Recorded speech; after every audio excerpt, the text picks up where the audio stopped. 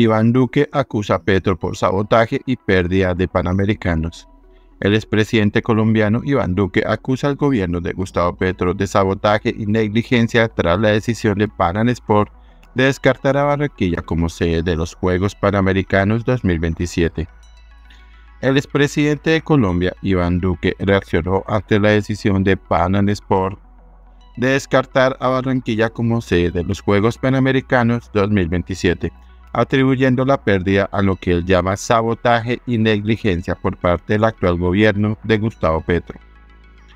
En una serie de mensajes publicados en sus redes sociales, Duque recordó los eventos deportivos y gestiones que lideró durante su presidencia, destacando la organización de los Juegos Panamericanos Junior, los Juegos Bolivarianos, los Mundiales Juveniles de Atletismo y la Asamblea del BID en Barranquilla.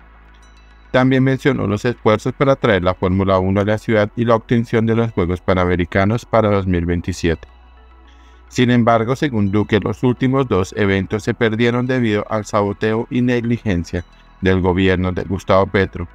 Criticó la administración actual por no haber cumplido con los pagos pactados y señaló que la evidencia lo dice todo. Por otro lado, Petro había responsabilizado a Duque por la pérdida de los Juegos, afirmando que el gobierno anterior incumplió con los organizadores y que ya existía un compromiso del presidente de la organización con el presidente del Paraguay.